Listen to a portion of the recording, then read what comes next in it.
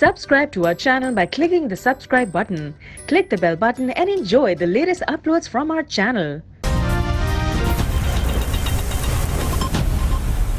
D I S P R major general Asif Ghafoor press conference کر رہے ہیں تو پندرہ جولائی سے ہم نے خیبر فور آپریشن جو ہے وہ شروع کیا تھا اللہ کے فضل سے ہم نے وہ آپریشن آج مکمل کر لیا ہے اس کے جو زمینی اہداف تھے جو 250 ففٹی اسکوائر کلومیٹر ایریا تھا اس کی جو کلیئرنس تھی وہ ہم نے کر لی۔ اس وقت جو ٹروپس وہاں پہ ہیں، وہ اس علاقے کی سینیٹائزیشن کرنے میں مصروف ہیں۔ سینیٹائزیشن کا مقصد یہ ہے کہ آپ نے علاقے میں اپنی ایکسیس کر لی، وہاں پہنچ کے پوسٹ بنا لی۔ لیکن اب اس میں جو ویلی ہے، اس میں جو گھر ہیں، جہاں پہ ان کی پناہ گاہیں تھیں، تو وہ میں آپ کے ساتھ شیئر کروں گا۔ اس کی ابھی کلیئرنس جو ہے وہ جاری ہے۔ جیسا کہ میں نے آپ کو پہلے دن بتایا تھا کہ خیبر ایجنسی کو اس سے پہلے ہم تین آپریشنز کر چکے تھے۔ خیبر ون، جو کہ اکتوبر فورٹین سے فیبری ففٹین تک ہوا، اس کے بعد ہم نے خیبر ٹو لانچ کیا، خیبر تھری کیا، اور خیبر فور جو کہ پندرہ جولائی کو شروع ہوا تھا، وہ آج مکمل ہو گیا۔ اس آپریشن کو ایک تو جو ایکٹیو آپریشن تھے، وہ اس وقت رد الفساد کے تحت تو آئی بی ایس ہو رہے تھے، لیکن فزیکل آپریشن کے لیے کلیئرنس کے لیے کوئی اور آپریشن نہیں ہو رہا تھا۔ تو اس آپریشن کے لیے ہمارے جتنے بھی وسائل تھے بالخصوص جو ٹیکنیکل سرویلنس تھی۔ خواہ وہ ایئر فورس اور نیوی کے ذریعے تھی یا ہمارے اپنے گراؤنڈ سرویلنس ریڈارز تھے نائٹ ویژن ڈیوائسز تھیں، ان کا استعمال کر کے اور جتنی فورس چاہیے تھی، اس کے مطابق دے کے بڑا پلانڈ اور اسٹڈی آپریشن گیا، جس کی وجہ سے الحمدللہ جو چیف کی ڈائریکشن تھی کہ ہم نے اس میں اپنے سپاہی کی جو جان ہے، اس کی حفاظت بھی ساتھ کرنی ہے۔ تو اس وجہ سے یہ ایک ایسا آپریشن تھا کہ ہم نے ان کی ہر مومنٹ کو دیکھا۔ کوئی بھی ایک سنگل ٹیررسٹ جو تھا، وہ ہماری نظروں سے چھپا ہوا نہیں تھا۔ خواہ ہم نے اس کو ورٹیکل سرویلنس سے دیکھا یا گراؤنڈ سرویلنس سے دیکھا رزلٹ اس کا یہ ہوا کہ ہم نے ان کی جو افیکٹونیس تھی، ہمارے آپریشن کے خلاف جو ریزسٹنس تھی، اس کو بالکل منیمائز کر دیا۔ اس کا رزلٹ یہ تھا کہ اس پورے آپریشن میں، حالانکہ یہ بہت مشکل تھا، ہمارے دو سپاہی جو ہے شہید ہوئے اور یہ ہماری منیمل کیجولیٹی تھی۔ اس آپریشن میں ہمارے دو شہید اور چھ زخمی ہوئے ٹوٹل آٹھ۔ جبکہ 152 آئی ڈیز ابھی تک ہم ریکور کر چکے ہیں اور دو اس میں سے جو ہیں ایکسپلوڈ ہوئی تھیں۔ اس آپریشن کے دوران جو ٹیررسٹ ہیں کنفرم کیجولیٹیز 52 ٹیررسٹ مارے گئے، جبکہ 31 جو ہیں زخمی ہوئے۔ ایک کو زندہ گرفتار کیا، جبکہ چار نے اپنے آپ کو فورسز کے حوالے کیا۔ نیکسٹ سلائیڈ پہ آپ دیکھیں گے کہ ہمارے جو دو جوان جنہوں نے اپنی جان کا نظرانہ پیش کر کے ملک کی سلامتی کو مضبوط کرنے میں اپنا کردار ادا کیا۔ اگلی چند سلائیڈز میں آپ دیکھیں گے کہ کس قسم کا علاقہ تھا اور اس میں کیا کیا چیزیں جو ہیں وہ ہمیں ملی ہیں۔ اس میں تیار آئی ڈیز جو ہیں وہ بھی شامل تھیں۔ نیکسٹ دکھائیے۔ وہاں سے جو آئی ڈیز میکنگ مٹیریل دریافت ہوا ہے، اس میں سے آپ دیکھیں جو رائٹ موسٹ ہے۔ اس میں جو ایک میڈ ان انڈیا کا بھی اس میں سگنیچر اویلیبل ہے۔ آپریشن کی تکمیل کے بعد اب وہاں پہ کنسولیڈیشن بھی ہو رہی ہے۔ اس کے لیے جیسا کہ میں نے آپ کو بتایا تھا کہ اس علاقے میں کوئی سڑکیں، کوئی ٹریک موجود نہیں ہے۔ جب فوج جاتی ہے، اپنے پوسٹ بناتی ہے، تو اس کی سپلائی چین کے لیے ہمیں ٹریکس بھی چاہیے اس، ان پوسٹوں تک جانے کے لیے۔ تو ابھی تک ہم نے 121 کلومیٹرز کے ٹریک پلان کیے ہیں، جس میں سے 91 کلومیٹر جو ہے، مکمل ہو چکے ہیں۔ اور 128 ٹنز آف راشن اور ایمونیشن ان راستوں کو استعمال کر کے وہاں پہنچایا گیا ہے۔ 91 نئی پوسٹ اس علاقے میں راجکال میں سیکورٹی فورسز نے بنائی ہیں اور ان پوسٹ کو بنانے کے لیے کیونکہ ان کے لیے ڈیفنس سٹور جاتا ہے، سامان چاہیے پوسٹیں بنانے کے لیے۔ تو علاقہ چونکہ مشکل تھا اور اس وقت تک ٹریکس بھی نہیں بنے تھے، تو ہم نے ہیلی سلنگ آپریشن کر کے جو سامان ہے وہاں پہ پوسٹوں کی لوکیشن تک پہنچایا ہے۔ میں آپ کو یہاں پہ ایک چھوٹا سا کلپ بھی دکھانا چاہوں گا جو کہ خیبر فورس سے متعلق ہے۔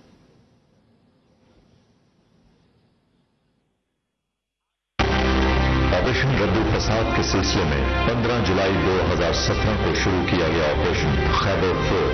پاک فوج کے مشکل ترین آپریشن میں شمار ہوتا ہے، جو فاتح کے راجگال علاقہ سے دہشت گردوں کی مذمت کو ختم کرنے کے لیے کیا گیا۔ ڈھائی سو مربع کلو میٹر آپریشن ایریا پر محیط خیبر پور پاکستان آرمی کے مشکل ترین آپریشن میں سے ایک تھا۔ کورم اور خیبر ایجنسی سے جڑے افغانستان کے اس سرحدی علاقے میں فاٹا کے بارہ ہزار سے چودہ ہزار فٹ بلند والا سنگلا پہاڑوں کا سلسلہ اس آپریشن کے دوران آگ فوج کے ٹروپس کی یہاں آمد رفت، فوجی اسلحے اور سامان تفصیل انتہائی دشوار ترین کام تھا۔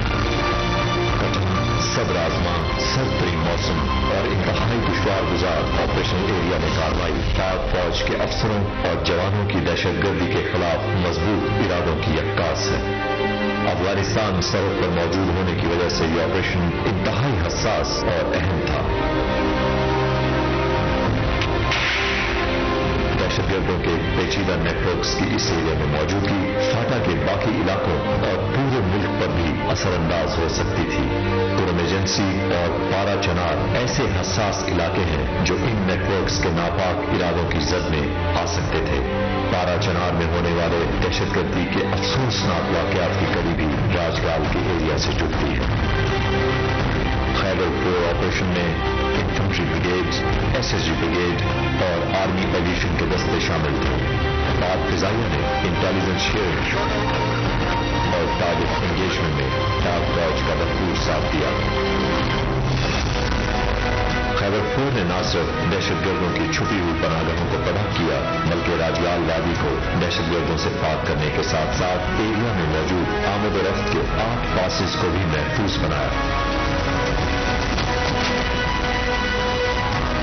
شورائے وزیر برتر کی مدد اور افاج پاکستان کے عزم سے راجگال مادر وطن کے باقی علاقوں کی طرح ترقی اور امن کا گہوارہ بن رہا ہے، جہاں فائدہ کے غیور عوام اپنے ہم وطنوں سے قدم سے قدم ملا کر ترقی اور خوشحال کی راہ پر گامزن ہیں اور وطن عزیز کو بنا رہے ہیں مزید مستحکم، خوشحال اور مضبوط Pakistan.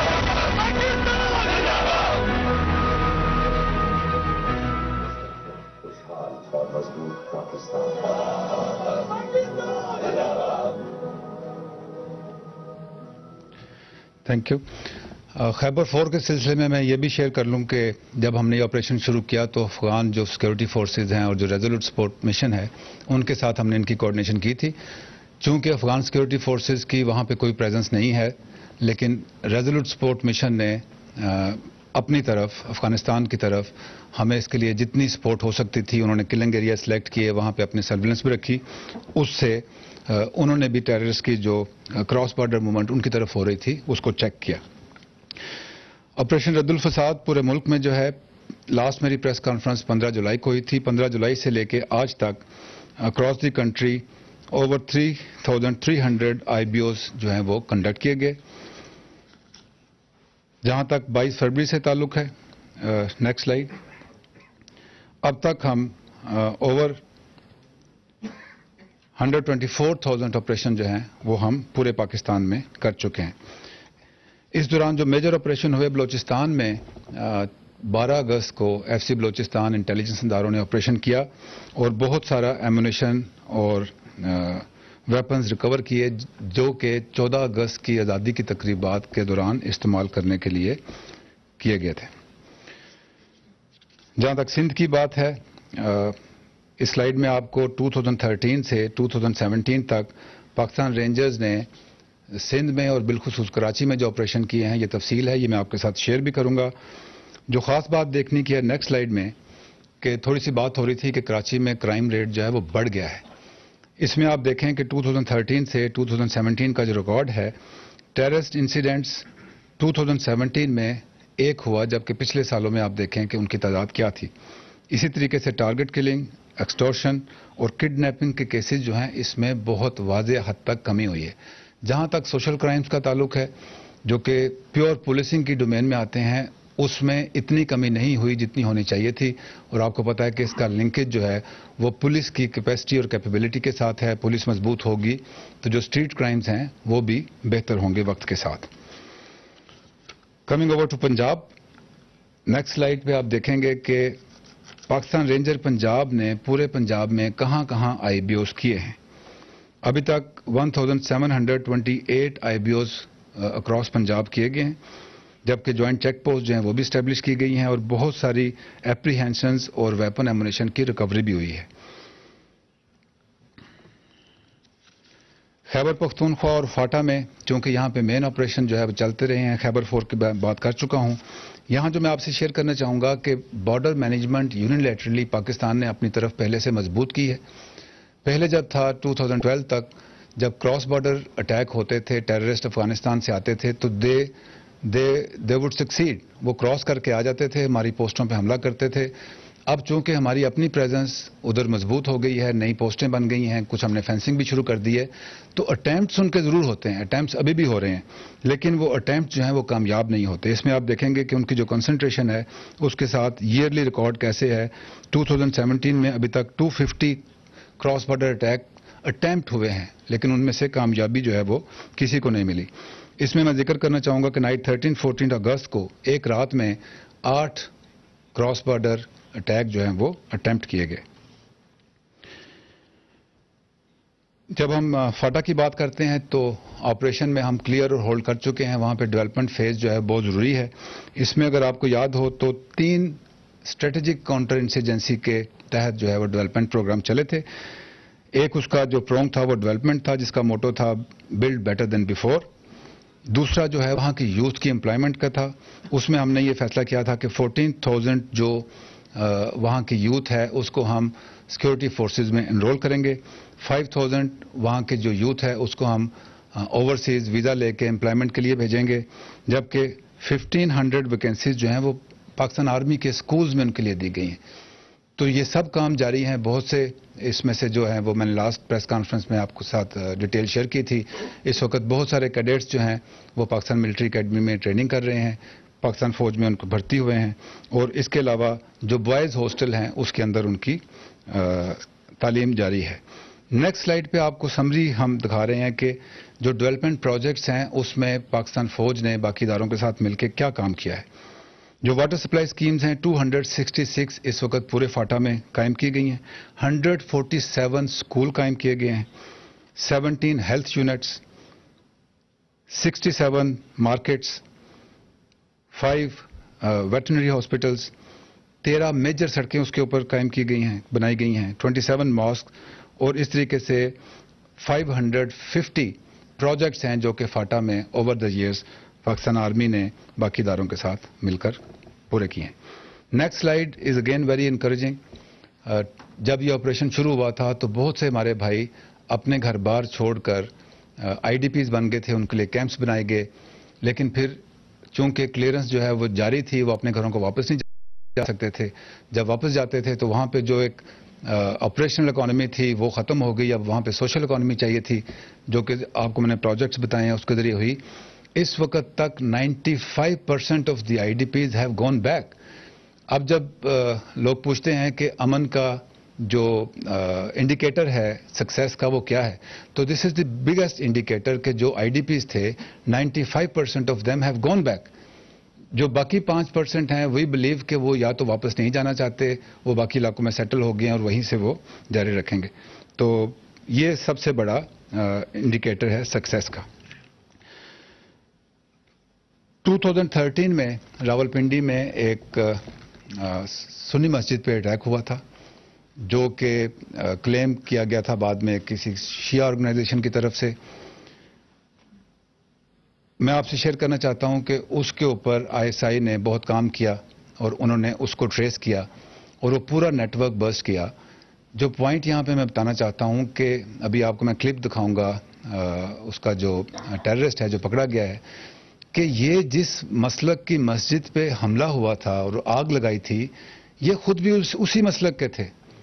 انہوں نے اپنے آپ کو پریٹینڈ کیا کہ یہ کالے کپڑے پہن کے وہاں پہ، تاکہ پاکستان میں ایک سیکٹیرین فالٹ لائن جو ہے وہ پیدا کی جائے۔ اور آپ نے دیکھا ہوگا کہ اس کے بعد پھر اور بھی جگہ پہ سیکٹیرین انسیڈنٹس ہوئے۔ تو میں چاہوں گا کہ آپ یہ کلپ دیکھیں اور خود فیصلہ کریں کہ کیا پاکستان میں سیکٹیرین ڈوائڈ ہے کہ نہیں ہے۔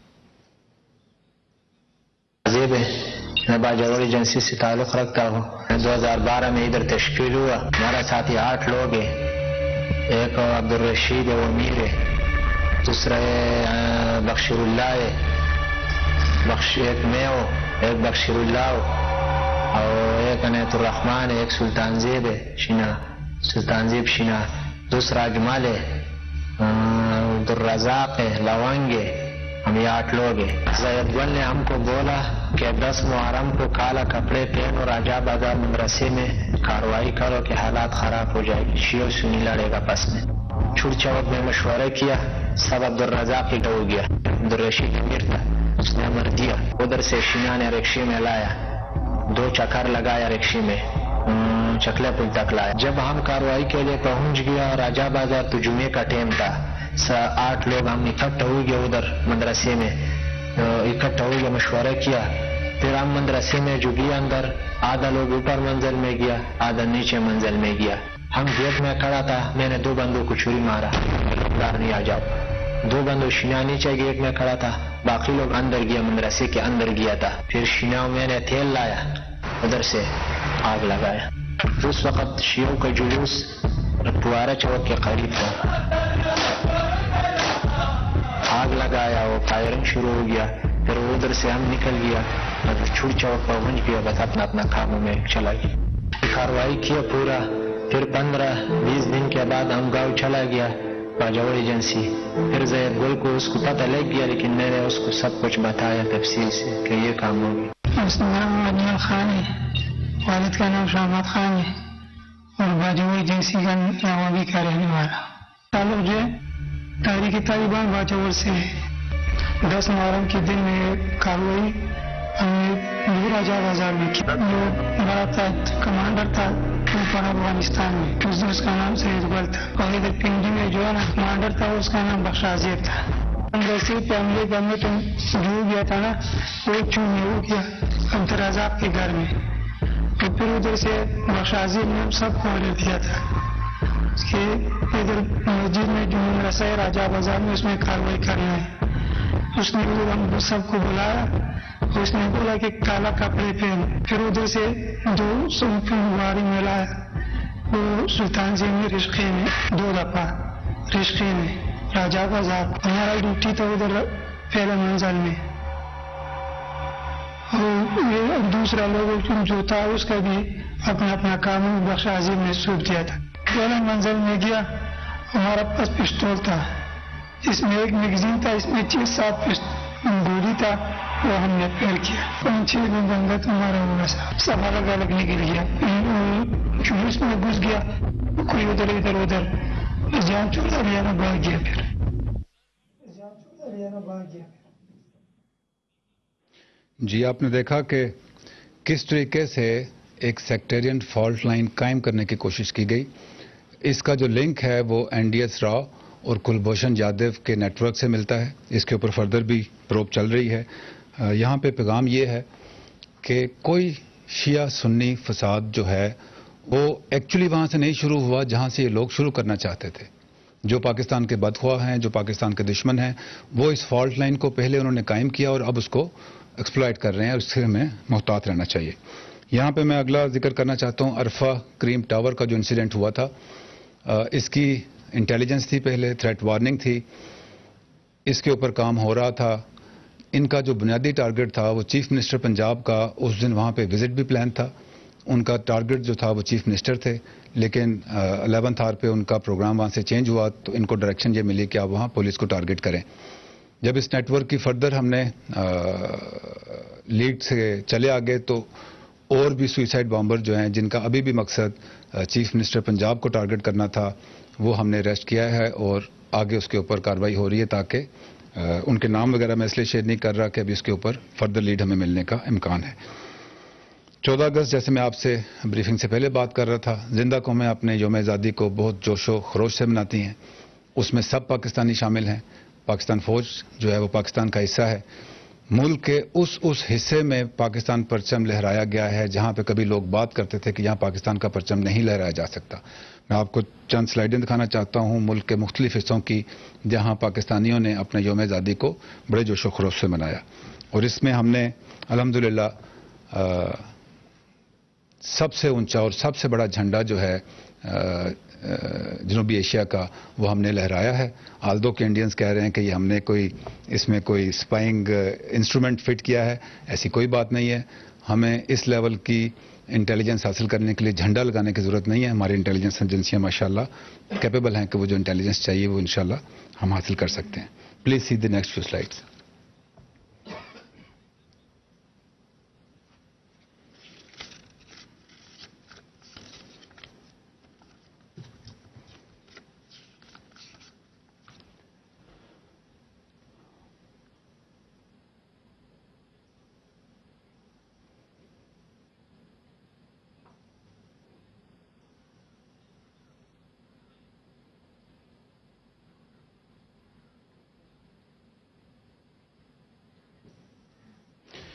میں اپنی بریفنگ کے آخر پہ آپ کو دو سلائڈیں دکھانا چاہتا ہوں.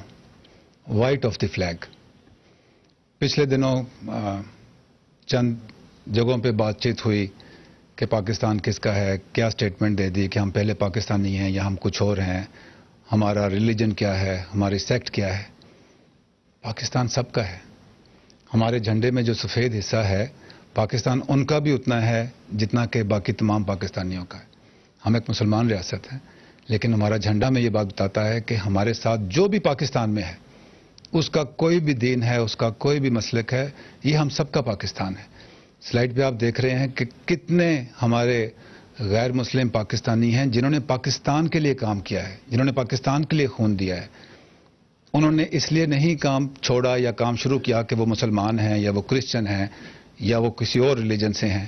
جو پاکستان کے اندر ہے، وہ اتنا ہی پاکستانی ہے جتنا کوئی بھی ریلیجن ہے، وہ ہو سکتا ہے۔ اگر ہم آرم فورسز کی بات کریں تو نیکسٹ سلائیڈ میں آپ دیکھیں گے کہ 1947 سے لے کر 2017 تک 59 پاکستانیوں نے، غیر مسلم پاکستانیوں نے اپنی جان کا نذرانہ دیا ہے اس ملک کے دفاع کے لیے۔ تو ہم کیسے کہہ سکتے ہیں کہ پاکستان جو ہے، وہ سب کا نہیں ہے۔ پاکستان ہم سب کا ہے اور جب تک ہم اکٹھے رہیں گے، کسی بھی ڈویژن سے بالا تر ہو کر، تو پاکستان کو کوئی نقصان نہیں پہنچا سکتا۔ ہر پاکستانی کو اسلام ہے اس کے لیے، اور جنہوں نے اس ملک کے لیے جان دے دی ہے، اس کے لیے پھر اس کا مذہب، اس کی قومیت، اس کا علاقہ، ان تمام چیزوں سے بالا تر ہے۔ تو ہمیں ان چیزوں میں نہیں پڑھنا۔ ہم سب پاکستانی ہیں اور انشاءاللہ ہم مل کر پاکستان کا دفاع کریں گے۔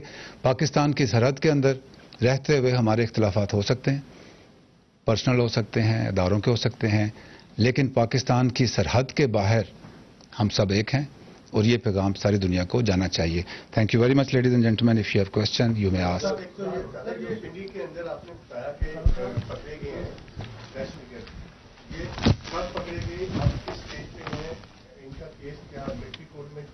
چلے گا یا عام کورٹ میں، جہاں آلریڈی سول کورٹ میں۔ جی۔ ان کا کیا اسٹیٹس ہے؟ کب لوگ یہ یہ آپ دیکھیں کہ ملٹری کورٹس میں جو کیس آتے ہیں وہ سب سے پہلے فیڈرل گورنمنٹ اس کو اپروو کرتی ہے اور ریکمینڈ کر کے ہمیں بھیجتی ہے۔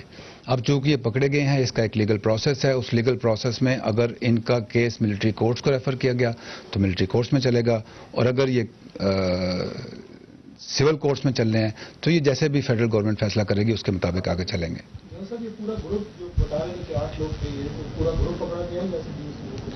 اس میں میں جیسے بتا رہا ہوں کہ انٹیلیجنس کی تھوڑی سی کمپلشن یہ ہوتی ہے کہ جب آپ ایک گروپ کو پکڑتے ہیں تو اس سے ہمیں فردر لیڈ ملتی ہے۔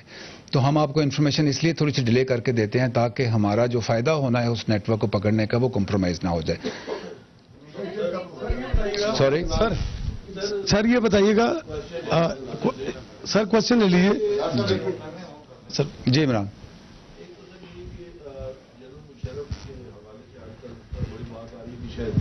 وہ واپس آ رہے ہیں اور ایک دفعہ پھر وہ اسٹیبلشمنٹ کے نمائندے کے طور پہ سامنے آ رہے ہیں۔ جی۔ دوسرا میرا کوشچن یہ ہے کہ سر کہ جو چیئرمین سینٹ ہیں انہوں نے یہ کہا کہ تمام جو اسٹیک ہولڈرز ہیں ان کے حوالے سے بات چیت ہونی چاہیے اور نئے آئین کی اور اس کی بھی بات ہو رہی ہے ان میں وہ جوڈیشری کی بھی بات کر رہے ہیں فوج کی بھی بات کر رہے ہیں۔ تو ایسا کوئی ڈائلاگ چیئرمین سینٹ کی طرف سے انیشیٹ کیا جاتا ہے تو کیا فوج اس کا حصہ ہوگی سر؟ ٹھیک۔ سر۔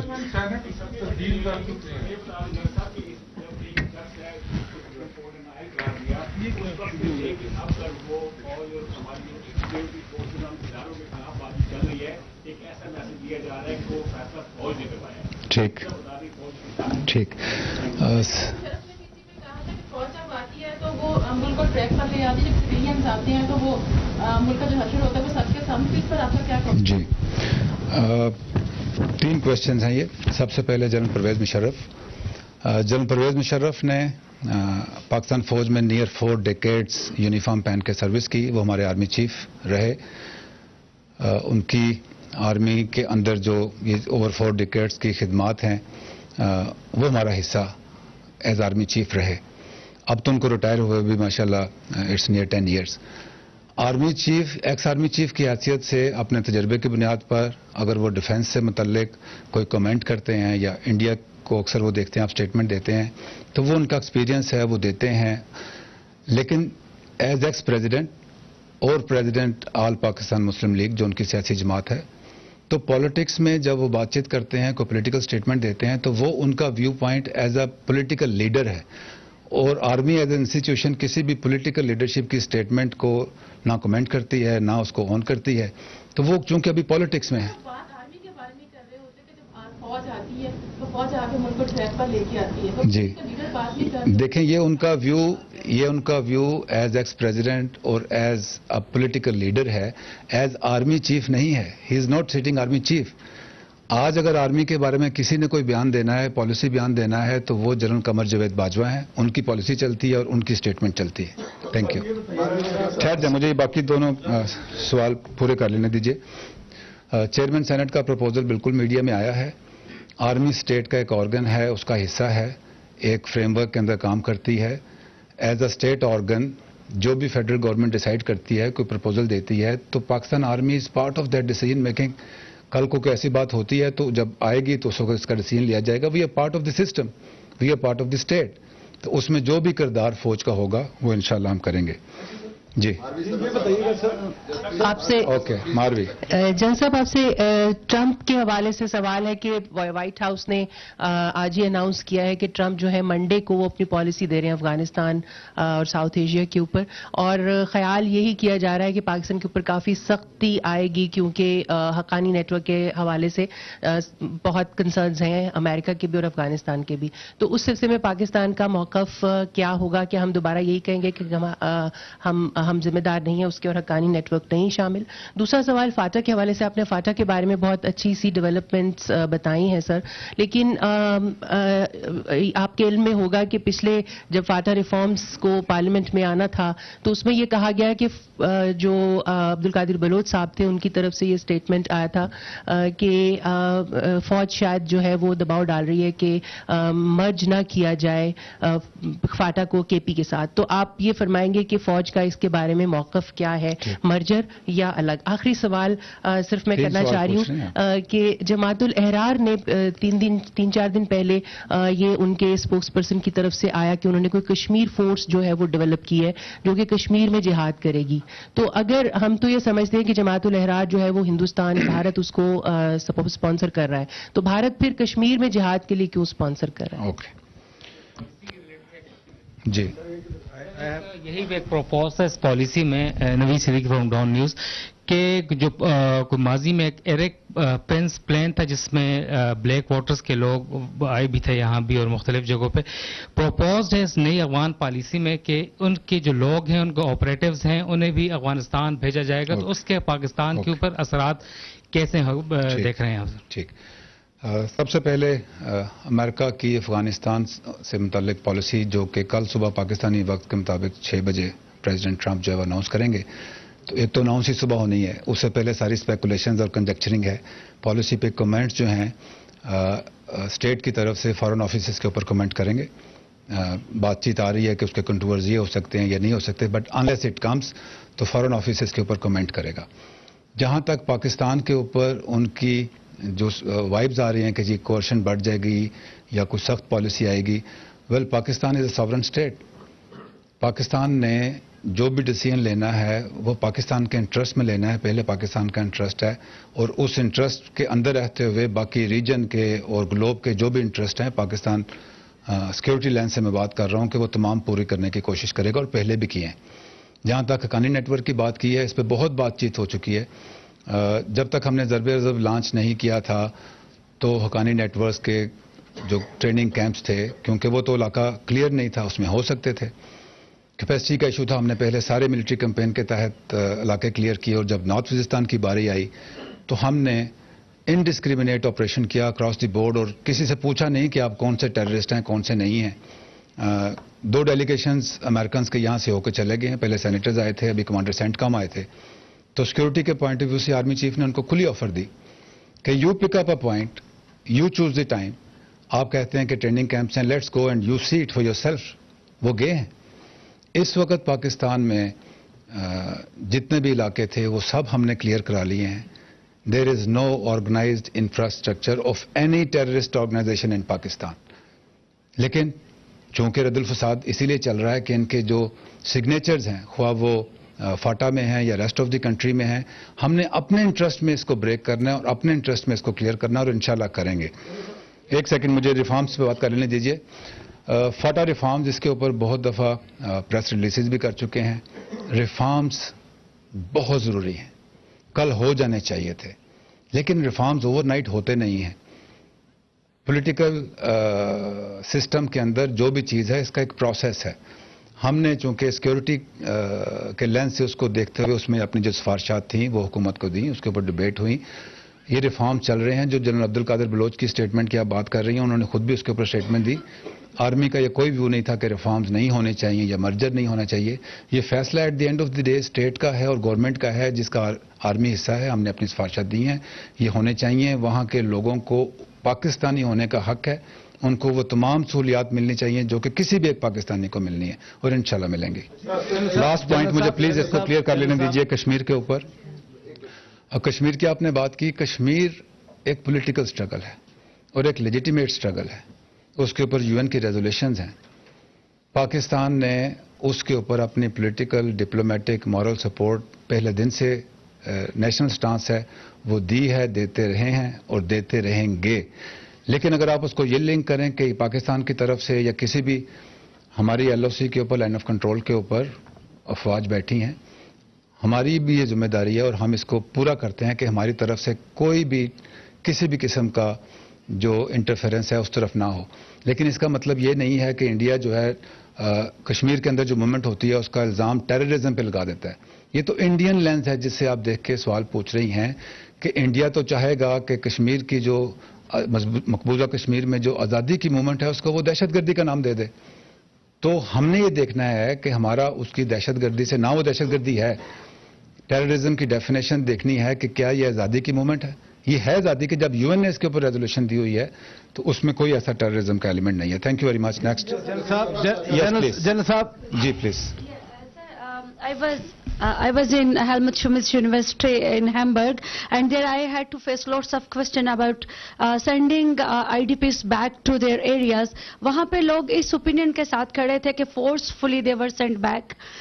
ایک تو اس کے اوپر مجھے تھوڑا سا بتا دیجیے گا بیکاز یہاں پہ دیئر واضح ہیو اینڈ کھڑا ان انٹرنیشنل میڈیا ایک تو یہ تھوڑا سا مجھے بتا دیجیے گا۔ دوسرا سوشل میڈیا پہ آج کل ایک نئی چیز گردش کر رہی ہے نیا این آر او انفارمیشن تو کیا نیا این آر او جو میاں محمد نواز شریف اور پاکستان پیپلز پارٹی دونوں کی طرف سے بنایا گیا ہے کیا ابھی تک وہ آرمی سے انہوں نے مانگا ہے یا نہیں؟ یہ تھوڑا کلیئر کر جی۔ دیجیے گا۔ تھینک یو تھینک یو جہاں تک آئی ڈی پیز کا تعلق ہے انہوں نے انڈر کمپلشن اپنے علاقے چھوڑے۔ مٹی سے محبت ہوتی ہے، اپنے علاقے سے محبت ہوتی ہے۔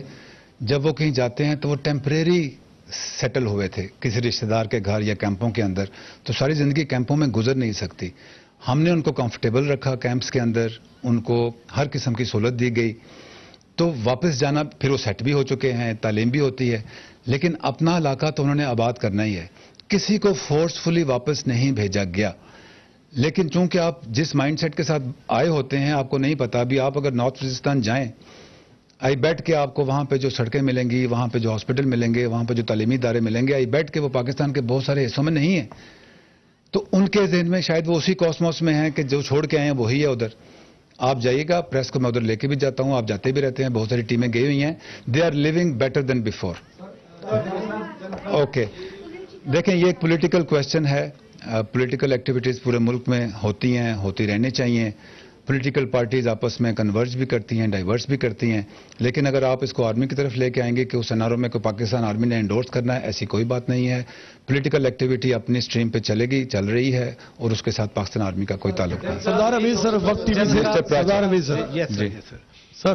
My question is also about the Trump policy There were three delegations basically visiting Pakistan, senators led by McCain, then Alice Wells was here, and only day before yesterday, CENTCOM chief was here.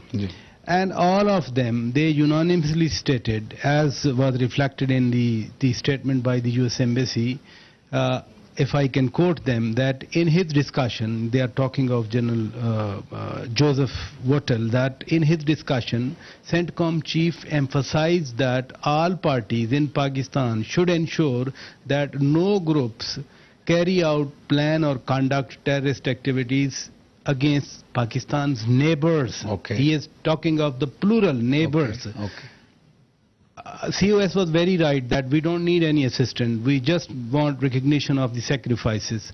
اب policy آ رہی ہے نئی کیا پاکستانی قوم پھر پندرہ سال مزید قربانیاں دے گی جیسے ہم دیتے رہے؟ Why they do not acknowledge the sacrifices that we rendered and when they say groups operating from Pakistan across the table what's are contention then okay okay دیکھیں جی نیبرز کی وہ بات کرتے ہیں پاکستان کو کہتے ہیں کہ نیبرز میں نہیں بھیجیں گے۔ تو نیبر کنٹری نے جو پاکستان کے ساتھ کیا ہے جس کو ایکسپوز بھی کیا ہر سطح پہ فوج کی سطح پہ بھی دفتر خارجہ کی سطح پہ بھی کلبوشن جادیب کی شکل میں دوسرے نیٹ ورک کی شکل میں تو کیا ان کو نہیں کہا جا سکتا؟ وہاں تو عالم یہ ہے کہ کشمیری رہنما کو فریڈم فائٹر کو دہشت گرد قرار دے دیا جاتا ہے۔ ان کے کہنے پہ جبکہ امریکی قوانین کے مطابق اگر ان کے مفادات کو ان کے شہری کو کوئی نقصان پہنچائے تو اس کو وہ تنظیم کو دہشت گرد قرار دیتے ہیں۔ Okay thank you very much Praj صاحب آپ کا سوال یہ ہے۔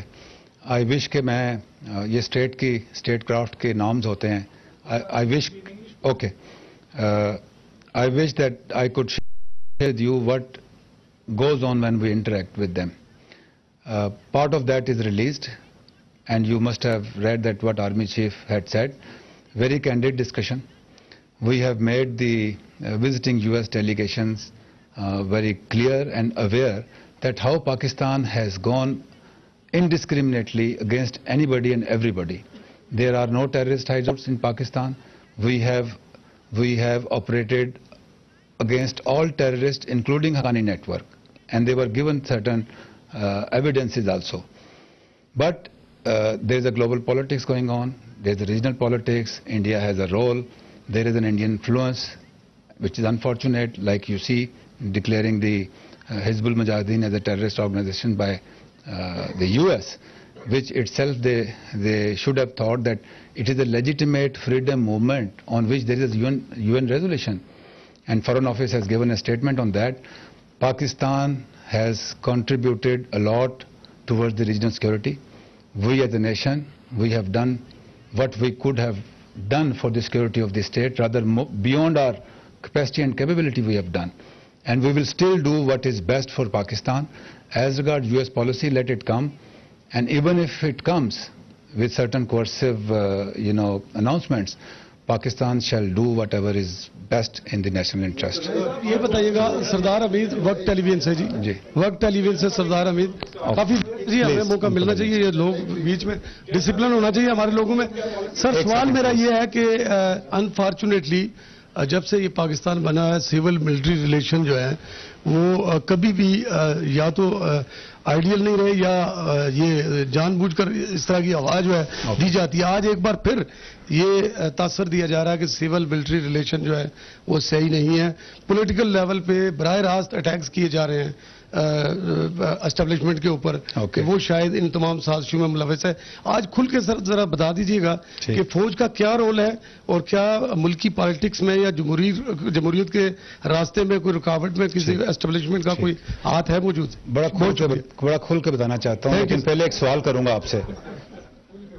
Since I put on uniform I am from military you are a civilian کیا ہمارے تعلقات میں کوئی خرابی ہے؟ You all are sitting without uniform, you're civilian. I, I come from a background where other than me, everybody is a civilian. When I retire, I will be a civilian again. There is no civil-military relation. Us terminology کو بھی تھوڑا سا دیکھنے کی ضرورت ہے کہ civilian ایک سائڈ پہ اور military ایک سائڈ پہ there is no divide. We are all one. Yes, جس environment میں آپ رہتے ہیں, media savvy environment ہے, friction ہے, political activity ہے, بہت ساری blame game ہو جاتی ہے. کچھ اختلافات ہو بھی سکتے ہیں، لیکن اس کو سول ملٹری ریلیشن سے آپ لیبل نہیں کریں please there is no civil military relation problem in Pakistan functional issue میں difference of opinion blood relations میں ہو جاتا ہے۔ تو بہت ساری ہوتی ہیں چیزیں اسٹیٹ کرافٹ میں اتنے آئیڈیل ایٹماسفیئر میں نہیں چلتی کہ وہ تو پھر ڈکٹیٹرشپ ہوئی۔ کہ ایک بندہ جو بھی بات کہتے وہ پوری ہو جائے۔ تو اس ڈفرینس آف اوپینین کو اور آزادی جو رائے ہے اس کے حق کو تسلیم کرتے ہوئے یہ چیزیں اسٹیٹ کرافٹ کا حصہ ہیں۔ اس کو پازیٹیوٹی کی طرف لے کے جائیں۔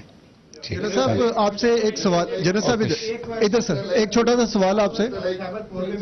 جی خیبر فور پہ کوشچن پلیز ایک چھوٹا سا سوال کیونکہ سویلین معاملات سے آپ نے بھی بات کر رہے تھے۔ ایک سویلین ڈیمانڈ آئی ہے۔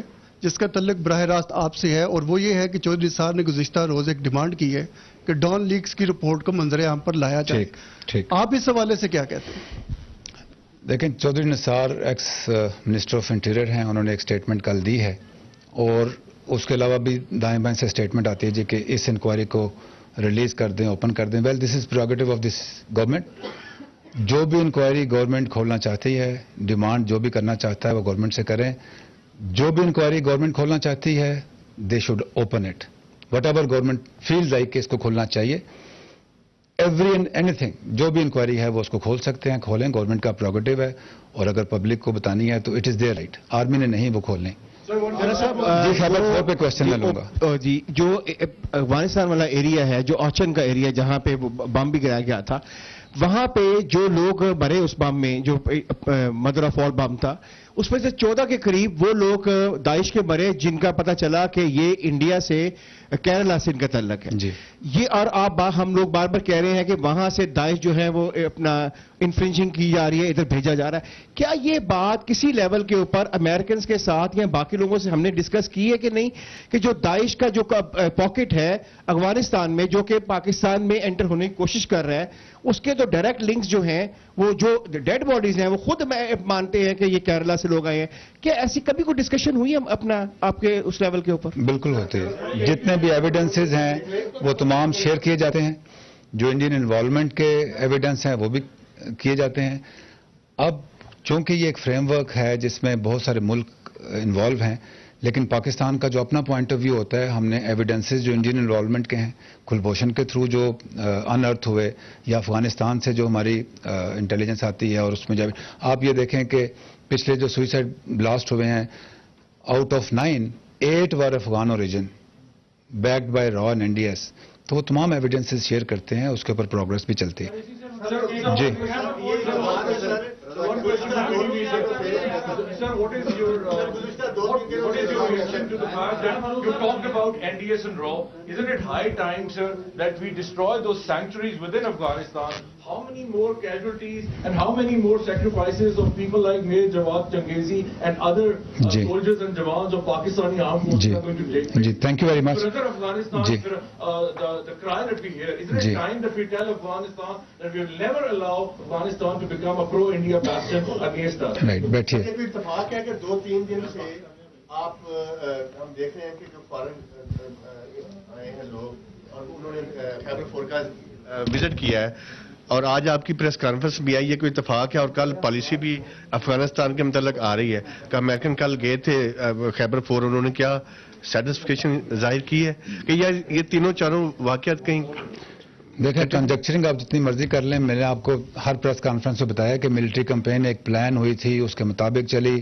خیبر فور آپریشن کے بھی وہی ٹائمنگز تھے۔ پالیسی بھی آنی تھی وزٹ بھی آنے۔ تو دنیا ایسے ہی چلتی ہے۔ ہر چیز کو ہم اتنا کلوزلی لنک نہیں کر سکتے۔ جی okay I will give okay very quickly let me response یہ جو تعلیم القرآن کی آپ نے فوٹی دکھائی اور اس میں انہوں نے اعتراف کیا کہ ہم نے کالے کپڑے پہن کے وہاں کاروائی کی اور شیعہ سنی فساد کرنے کی کوشش کی، لیکن پولیس نے درجنوں لوگوں کو کئی سال سے بند کیا ہوا اور ان کے خلاف دہشت گردی کے پرچے درج ہیں اور جیلوں میں سڑ رہے ہیں۔ تو کیا اس فوٹیج کے بعد ان لوگوں کو کوئی ریلیف ملنے کا امکان ہے؟ Okay okay I will respond to these two questions and then last question please okay your first question is کہ افغانستان میں سینکچریز ہیں تو ہم اس کو کیوں تباہ نہیں کر دیتے؟ دیکھیں، افغانستان ایک سوورن کنٹری ہے۔ ہم بھی ایک سوورن کنٹری ہیں۔ جہاں تک ہمارا سیلف ڈیفenس میں جتنے ایکشن لینے تھے، آپ کو بتایا کہ ہم نے جو ان کے بارڈر بیلٹ کے اندر، اس ڈسٹنس میں جہاں کہ وہ ڈائریکٹلی ہمیں تھریٹ کر رہے تھے، ہم نے وہ ایکشن لیے۔ Even at the cost of certain reservation from Afghanistan, لیکن وہ سیلف ڈیفenس میں بہت ضروری تھا۔ لیکن اگر کوئی ایسا infrastructure deep inside Afghanistan ہے، تو ایک سوورن کنٹری اور ایک ریسپانسبل کنٹری ہونے کے ناطے ہمارے پاس بھی یہ ایک سین آپشن نہیں ہے کہ ہم اس کے اوپر بمباری شروع کر دیں۔ افغانستان کی ایک اپنی فورس ہے، ادھر ریزولوٹ سپورٹ مشن بیٹھا ہے۔ اور جب ہم آپس میں انگیجمنٹ کرتے ہیں تو یہی بات ہائی لائٹ ہوتی ہے۔ اس میں انڈین اینگل کو بھی ہم ہائی لائٹ کرتے ہیں۔ یہ جو ایشوز پچھلے اتنے دہائیوں سے چل رہا ہے، یہ اوور نائٹ حل نہیں ہوتا۔ آپ یہ دیکھیں کہ کیا ہم پچھلے سترہ سال میں پہلے سے کتنا بہتر ہو گئے۔ اب جب بہتری ہو رہی ہے اس کو کنسولیڈیٹ کر رہے ہیں تو ہمیں اپنی پوری قوم کو متحد رہ کے اس کا ساتھ دینا ہے۔ ایک وقت میں ایک ایشو کو آپ پکڑتے ہیں۔ میں نے آپ کے بہت سارے کوشچن دیکھے۔ دیکھیں، آرمی چیف کی سٹیٹمنٹ بھی آئی تھی کہ ہم ابھی ایک ایسے پاکستان کی طرف بڑھ رہے ہیں۔ ہر ہر آنے والا وقت پچھلے وقت سے بہتر ہوتا ہے۔ بندہ اپنے تجربات سے سیکھتا ہے۔ ایک ایسے پاکستان کی طرف بڑھنا چاہتے ہیں اور بڑھ رہے ہیں جہاں قانون کی حکمرانی ہے، جہاں امن ہے، جہاں سب ادارے کام کر رہے ہیں۔ آپ نے پولیس کی اتنی بات کی۔ تو وقت وہ آ رہا ہے کہ جب انشاءاللہ پولیس کے ریفارمز ہوں گے، آپ کے ایجوکیشن انسٹیٹیوشن کے ریفارمز ہوں گے، آپ کے جوڈیشری کے ریفارمز ہوں گے، حکومت نے یہ کام کرنے ہیں، ہم نے اسٹیٹ کا حصہ ہوتے ہوئے ان کی مدد کرنی ہے جو ہماری انپوٹ ہے، فاٹا کے ریفارمز ہو رہے ہیں۔ میڈیا کا بہت بڑا رول ہے۔ آپ سوالوں کو اس طرف لے کے جائیں جو بہتری کی طرف لے جانے میں کیا کردار ہے۔ آپ سجیسٹ کریں، آپ ٹاک شوز کریں کہ جی پولیس ریفارمز میں کیا ہونے کی ضرورت ہے۔ کیوں ملٹری کورٹس اسٹیبلش ہیں یہ کیسے ہم ان کے بغیر گزارا کر سکتے ہیں؟ ایجوکیشنل انسٹیٹیوشن میں کیسے ریفارم ہونے چاہیے؟ قانون کی حکمرانی کیسے ہوگی آئین کی حکمرانی کیسے ہوگی؟ ہم سب جب تک مل کے یہ نہیں کریں گے کہ ہم نے پاکستان کو وہاں لے کے جانا ہے جہاں کانسٹیٹیوشن لا اس کی عملداری ہے اور ہم سب اس کی طرف چلیں۔ Last question thank you very much sir I the floor sir sir آپ نے کہا ابھی کہ اس جشن آزادی پہ پاکستان کا پرچم ان ان علاقوں میں لہرایا گیا جہاں ماضی میں تصور نہیں تھا بالکل ٹرو سر۔ پھر شاید میرے علم کے مطابق فرسٹ ٹائم ایسا ہوا ہے سر ہم نے سوشل میڈیا پہ دیکھا کہ پاکستان کے پرچم کو جلایا گیا۔ جی۔ آپ نے مدرسے کی بات کی تحقیقات آئی ایس سی کی۔ یہ بتائیے گا کہ کیا فوج یا اس کے ادارے متعلقہ جو ہے اس ایشو کے اوپر بھی تحقیقات کر رہے ہیں۔ اور one very important thing sir آپ نے لائک کے سوال کے جواب میں کہا کہ ڈان لیکس کے حوالے سے یہ گورنمنٹ کا پروگیٹو ہے کہ وہ فیصلہ کرے۔ یہ ڈائریکٹ وہ چیز ہے جو کہ فوج سے ریلیٹڈ ہے۔ ہم یہ جاننا چاہ رہے ہیں کہ فوج کا کیا موقف ہے۔ فوج یہ چاہتی ہے کہ ڈان لیکس کی جو رپورٹ ہے، اس کو منظر عام پر لایا جائے۔ یا جس طرح ایک ہاچ پاچ چل رہا ہے سر، وہ چلتا رہے۔ ہاچ پاچ جی۔ خیبر فور شروع ہوا تھا تو اس وقت کہا تھا کہ اسٹیٹ کی ریٹ جو ہے وہ کچھ علاقے میں نہیں تھی۔ اب اس یہ آپریشن کمپلیٹ ہو گیا۔ اس کے بعد آپ سمجھتے ہیں کہ ہنڈریڈ پرسینٹ اب اسٹیٹ کی ریٹ قائم ہو گئی علاقے میں۔ Okay this this is last question پہلے میں آپ کے کوشچن کا جواب دے دوں۔ اس پہ میں نے بات کر دی ہے۔ ڈان لیگ جیسے بھی ایشو چلا اس کے اوپر ایک انکوائری ہوئی۔ Recommendation prime minister then prime minister کو گئی انہوں نے اس کے اوپر ڈیسیجن دیا اور میں نے پریس کانفرنس میں بھی کہا تھا کہ ڈیسیجن کی اتھارٹی جو ہے ڈان لیگ کے اوپر بیسڈ اور انکوائری وہ پرائم منسٹر کے پاس تھی۔ انہوں نے اس کے اوپر ڈیسیجن دیا، اس کے اوپر عمل ہوا۔ اب اگر حکومت کے اپنے جو بندے ہیں وہ کہہ رہے ہیں کہ اس کو کھولیں یا کھولنا چاہیے یا نہیں کھولنا چاہیے، تو یہ حکومت نے ہی فیصلہ کرنا ہے۔ اگر حکومت سمجھتی ہے کہ ڈان لیک یا کوئی بھی اور انکوائری کو اوپن کرنا ہے، تو it is their they should do it یہ بڑا اچھا سوال آپ نے پوچھا اور میں اس کے اوپر بات چیت بھی کرنا چاہتا ہوں پلیز لیٹ می پرچم جلانا جو پاکستان کا پرچم جلاتا ہے کیا وہ آپ سمجھتے ہیں کہ وہ پاکستانی ہے؟ اس میں تحقیق کی کیا ضرورت ہے آپ کو تو سامنے نظر آ رہا ہے کہ کس نے جلایا کس کے کہنے پہ جلایا اور اس کے اوپر آلریڈی کیا کام ہو رہا ہے؟ کیا پاکستان کی عوام اس بندے کو جس کے کہنے پہ یہ پرچم جلا ہے یا جس نے جلایا ہے کیا پاکستان کی عوام اس کو معاف کرنے کو تیار ہے؟ سوشل میڈیا تو فل بڑا پڑا ہے۔ جب پاکستان کی عوام تیار نہیں ہے تو آرمی تو پھر عوام کے ساتھ ہے۔ اور کوئی بھی پاکستانی پاکستانی پرچم کی توہین جو ہے برداشت نہیں کر سکتا، اسی کے لیے تو ہم زندہ ہیں۔ آپ نے بات کی کہ ہنڈریڈ پرسینٹ اسٹیٹ کی ریٹ تو ہنڈریڈ پرسینٹ اسٹیٹ کی ریٹ کیا ہوتی؟ اسٹیٹ کی ریٹ میں بہت سارے کارڈینلز ہوتے ہیں۔ ایک ہے فزیکل سیکورٹی جو کہ آپریشنز کے ذریعے سیکورٹی فورسز نے، جس میں تمام ادارے شامل ہیں، انہوں نے کی۔ وہاں پہ ابھی ایک انوائرمنٹ کریٹ ہوگی ہے کہ آپ جو سوشل ڈیولپمنٹ ہے، اس کا پرونگ لے کے جائیں۔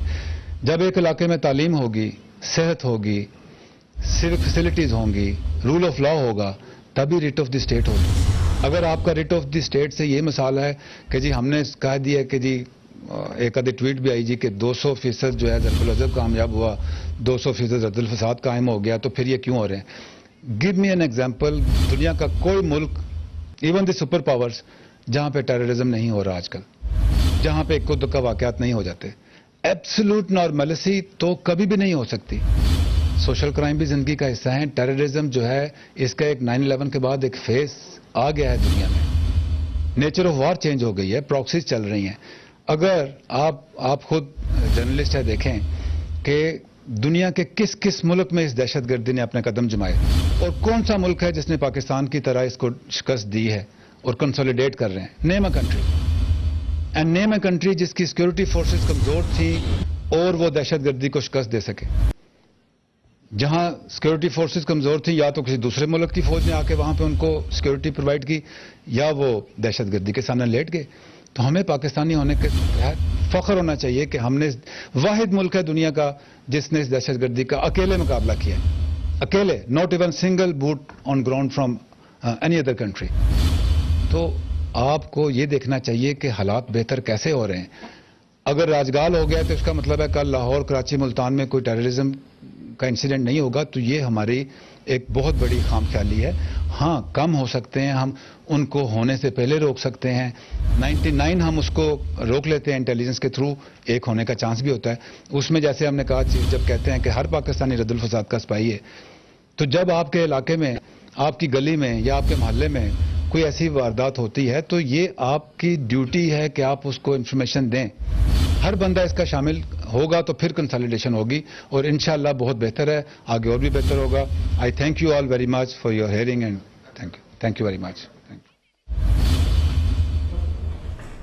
D G I S P R major general Asif Ghafoor press conference کر رہے تھے۔ انہوں نے کہا کہ آپریشن خیبر فور مکمل کر لیا گیا۔ دو سو پچاس مربع کلومیٹر علاقہ کلیئر کیا گیا۔ راجگال اور شوال میں زمینی اہداف حاصل کر لیے بتایا کہ کراچی پولیس مضبوط ہوگی تو اسٹریٹ کرائم کم ہوں گے۔ دو ہزار سترہ میں دہشت گردی کا ایک واقعہ ہوا۔ ٹارگٹ کلنگ میں نمایاں کمی ہوئی۔ یہ بھی کہا کہ پاکستان ہم سب کا ہے۔ جب تک ہم اکٹھے ہیں، پاکستان کو کوئی نقصان نہیں پہنچا سکتا۔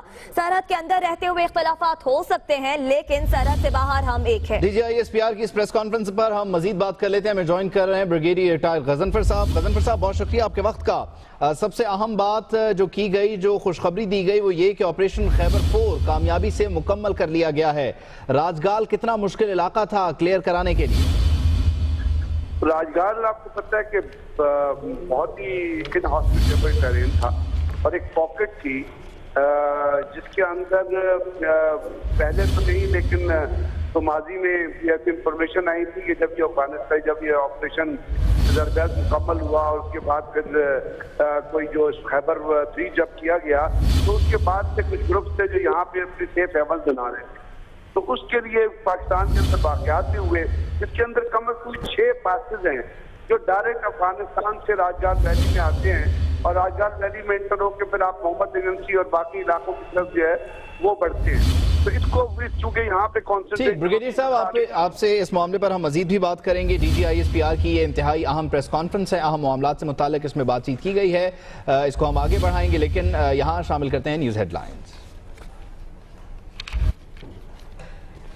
آپ کو بتائیں کہ اب سے کچھ دیر پہلے D G I S P R major general Asif Ghafoor نے پریس کانفرنس کی اور پریس کانفرنس کے دوران بتایا کہ آپریشن خیبر فور مکمل کر لیا گیا ہے۔